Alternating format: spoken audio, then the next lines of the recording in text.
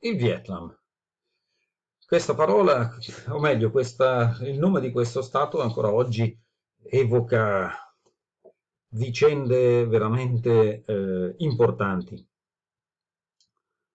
Eh, sembra strano perché, voglio dire, il Vietnam, pur essendo abitato da 80 milioni di abitanti, di persone, 80 milioni sono tante, considerando che è una strisciolina di terra, vedete? È proprio eh, piccolo il Vietnam, ok? Eppure è molto significativo. Per la mia generazione, eh, non, sì, vabbè, fino a un certo punto, mi ricordo la fine della guerra del Vietnam, ero un bambino, avrò avuto 8 anni, ma più che altro per le eh, vicende in quanto tali e per eh, le conseguenze di questa guerra. Il Vietnam, come anche la Corea, era stato diviso, allora, innanzitutto andiamo con ordine, era francese, eccolo qua, francese, colonia francese come tutta l'Indocina praticamente, questa zona qua, Vietnam, Laos, Cambogia era l'Indocina francese. E, dopo la seconda guerra mondiale i francesi furono, come si può dire, eh, osteggiati, eh, avversati dagli indipendentisti vietnamiti eh, che erano fondamentalmente guidati dal, dal comunismo. Eccoci. Quindi i comunisti spinsero tantissimo per ottenere l'indipendenza e misero in gravi difficoltà i francesi. A un certo punto, nonostante le lotte, la, la, il, il, disperato tentativo insomma, di tenersi questa piccola colonia, i francesi sconfitti in, una, in un assedio, nell'assedio di Dien Bien Phu del 1954, decisero di lasciar perdere e lasciarono la libertà al, al, al Vietnam. Solo che agli americani non andava bene che eh, il Vietnam finisse sotto, in mano comunista e quindi eh, decisero, in accordo in un certo modo con la Cina e l'Unione Sovietica, che il Vietnam sarebbe stato diviso in due parti, il Vietnam del nord e il Vietnam del sud. Il Vietnam del nord ovviamente comunista, eh, e il Vietnam del Sud invece una dittatura più o meno militare, okay, con un presidente che poi faceva un po' quello che voleva, sorretto dagli Stati Uniti.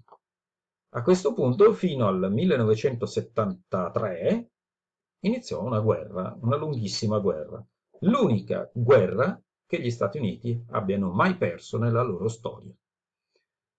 Non l'hanno persa militarmente, l'hanno persa politicamente, eh, perché sul campo non furono sconfitti, anzi, quando con l'offensiva del Tet, cioè del capodanno vietnamita, i Viet Cong, così si chiamavano i partigiani comunisti, Viet Cong eh, diedero appunto, fecero di tutto per, eh, come dire, sconfiggere gli americani, beh, in quel caso gli americani asfaltarono i Viet Cong eh, un'offensiva completamente fallita, eppure fu una vittoria politica, perché la lotta fu talmente dura, talmente eh, particolare, che l'opinione pubblica americana disse basta con questa guerra del Vietnam, costata appunto eh, 50.000 morti agli americani, se non vado errato, e un numero incalcolabile agli, ai vietnamiti.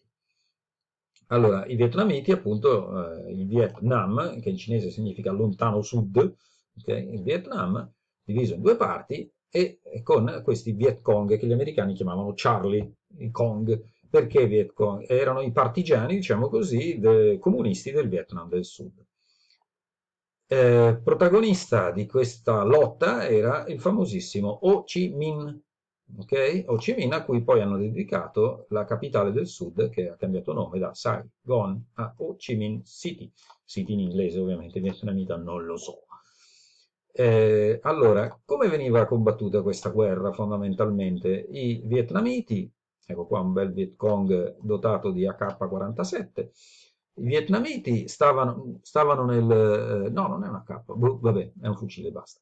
Ehm, eh, dominavano la notte, perché era una guerriglia in grado di andare dove volevano di notte, eh, il sottosuolo, perché creavano delle reti chilometriche di eh, passaggi sotterranei, e le giungle, la giungla. Quindi questi praticamente colpivano eh, le, gli avamposti americani e del Vietnam del Sud e poi scappavano nella giungla, gli altri li cercavano, ma questi avevano addirittura delle botole nascoste dal, so, dalla vegetazione, si infilavano in queste botole, chiudevano eh, questi, questi, coperchi con eh, sopra le foglie di palma, eccetera, eccetera, sparivano nella, sparivano nella giungla o nella notte a seconda delle situazioni. Gli americani invece avevano il possesso, gli americani e i loro alleati, avevano il possesso del, delle città, eh, dominavano il giorno quando ci vedevano fondamentalmente e eh, dominavano l'aria perché avevano il completo dominio dell'aria e si spostavano tra un, come si può dire, da un posto all'altro, raramente via terra, ma soprattutto con gli elicotteri. E quindi il dominio dell'aria. Ovviamente facevano di tutto i Vietcong per abbatterli, però eh, gli americani avevano... E come facevano a stanarli nel, dalle loro giungle? Usavano anche il napalm, ok? o eh, l'agente arancio, si chiamava così, un defoliante per proprio spogliare la giungla e mettere eh, diciamo in evidenza questi Vietcong.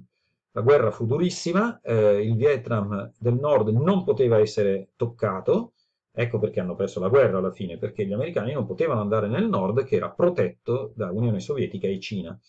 E quindi il, in teoria la guerra del Vietnam era tutta un'organizzazione interna al Vietnam del Sud.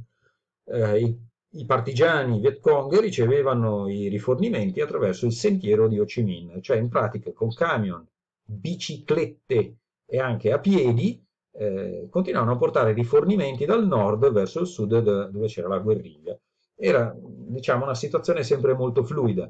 Agli americani spesso e volentieri saltavano i nervi, per cui, che so, massacravano un villaggio sospettato di aver ospitato i Viet Cong, usavano il, i lanciafiamme, i carri armati, ne combinavano di cotte e di crude okay? e bombardavano in maniera pesantissima il Vietnam del Nord. Cioè non potevano mettere gli stivali, si dice così, sul terreno del Vietnam del Nord, però lo potevano bombardare allegramente con i B-52.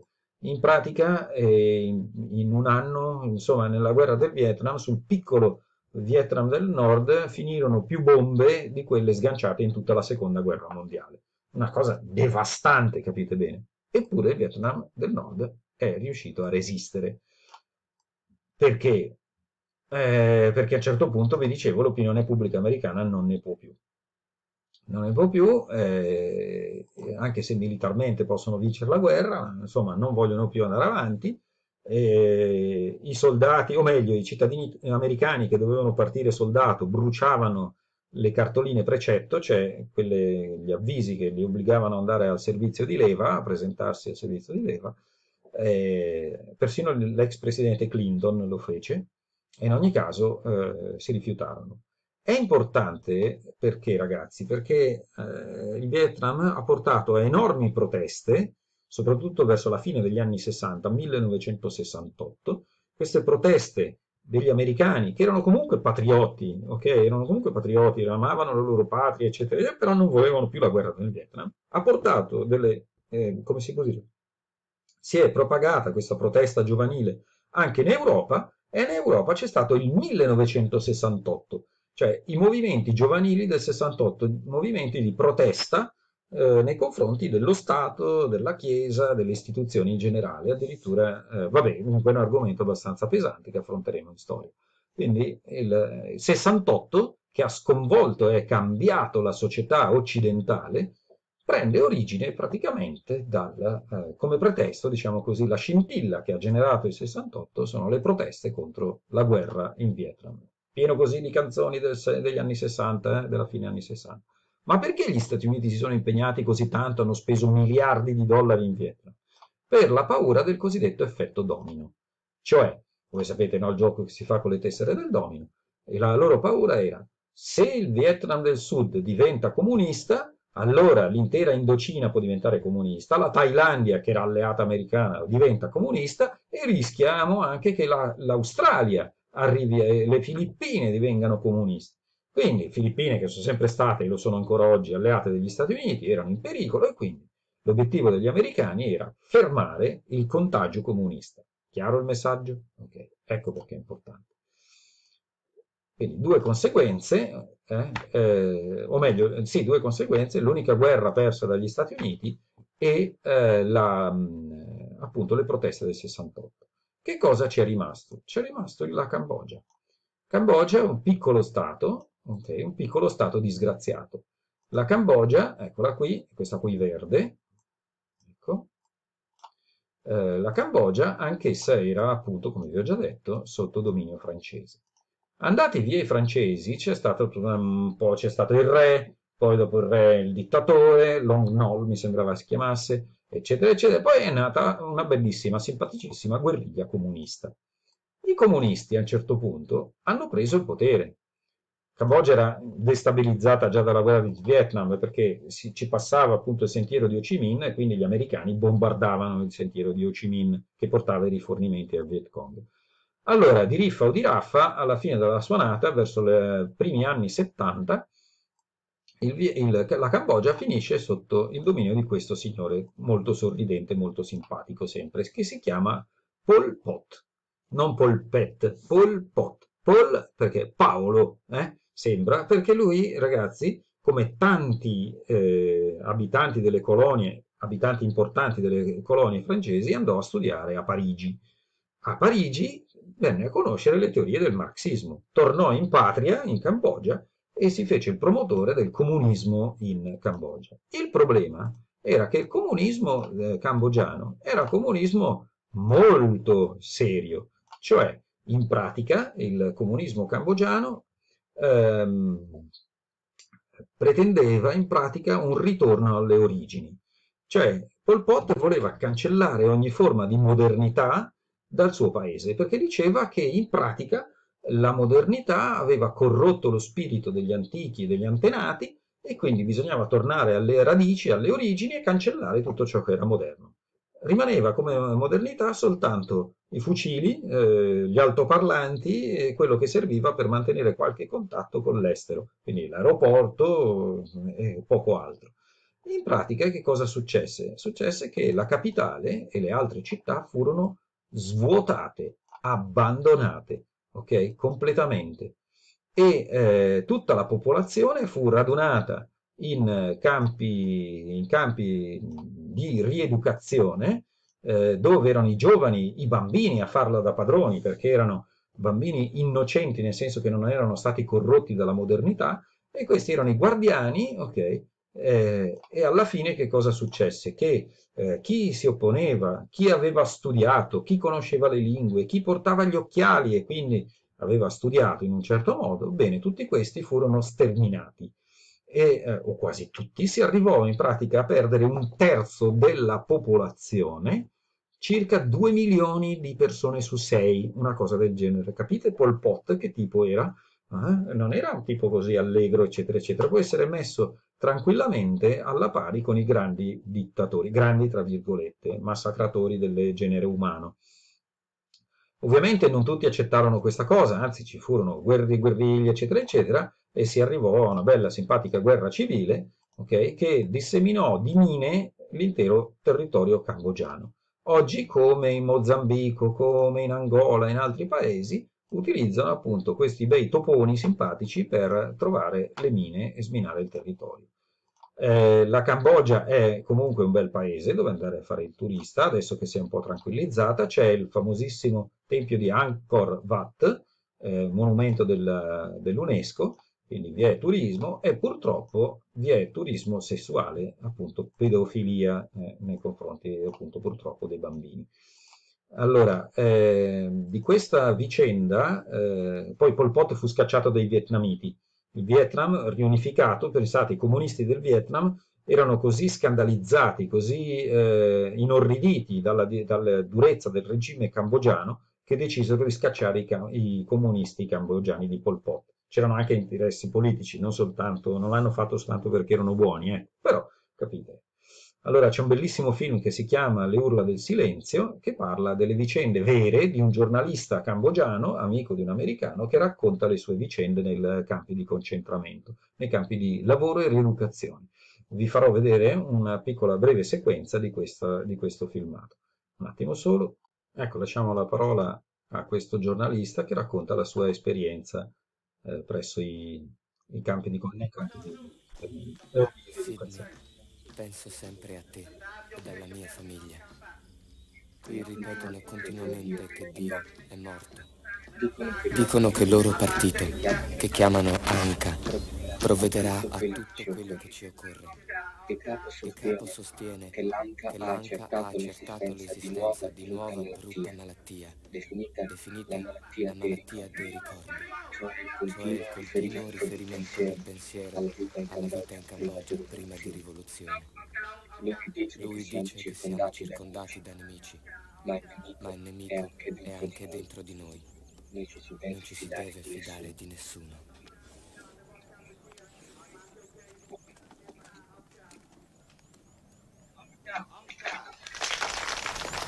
Sostiene che bisogna essere come vuoi e non avere pensieri altro che per il partito. Non amare nessuno, tranne l'anca.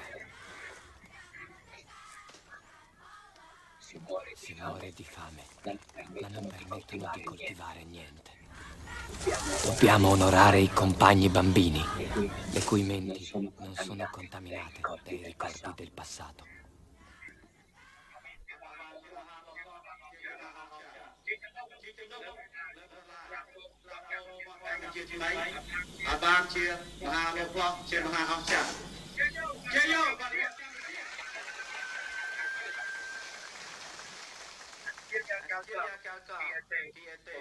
Professeur, étudiant et médecin. Ha besoin. Appello a dottori, professori e studenti. L'ANCA ha bisogno di voi. ANCA perdonerà tutto il passato.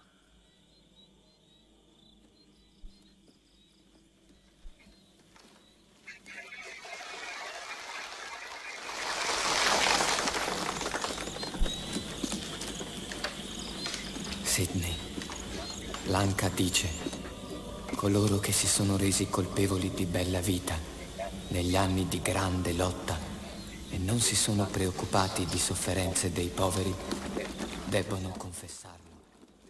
Perché questo è l'anno zero e bisogna cominciare tutto da capo.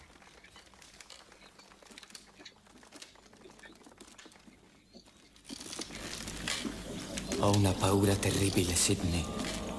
Devo far finta di non capire né il francese né l'inglese. Non devo avere un passato, Sidney. Questo è l'anno zero. Niente è successo prima d'ora.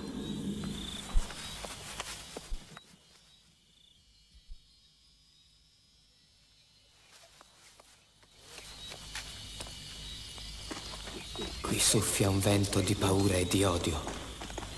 La guerra ha ucciso l'amore, Sidney. E quelli che confessano all'anca svaniscono nel nulla. Ma nessuno osa domandare che fine abbiano fatto. Qui soltanto i muti sopravvivono.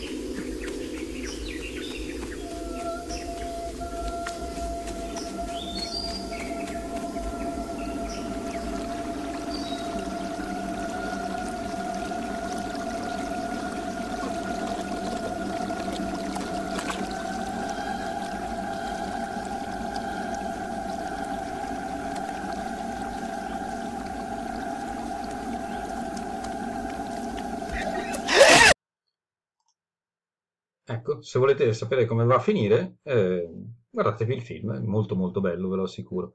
Le urla del silenzio. E adesso un breve video sul, sulla guerra del Vietnam, ok? Proprio breve, eh? Cioè una canzoncina con un po' di immagini che vi possono dare l'idea del, di come fu la guerra in Vietnam, che non è in Cambogia, sono due cose diverse. Eh, ah, Sidney, quello cui parlava era il giornalista americano, suo amico.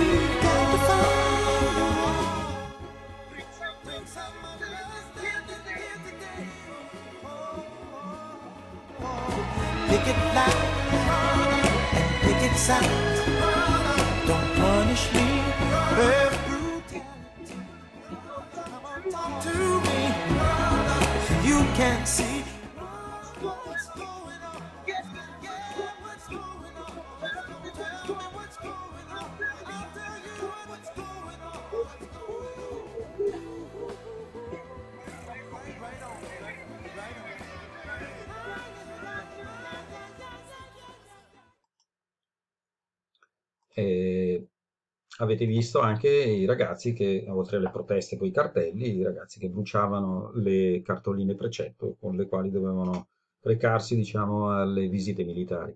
E avete visto anche quanti elicotteri e quanti morti, quanto sangue. Avete visto anche il capo della polizia del Vietnam del Sud che stava per giustiziare appunto un sospetto Viet Cong lì così per strada. Capite che immagini del genere arrivate in diretta nelle case americane grazie alla televisione per la prima volta nella storia, gli americani vedevano una guerra in diretta proprio, e ecco, queste, queste cose portarono appunto a eh, chiudere questa esperienza. Bene, mm, è tutto.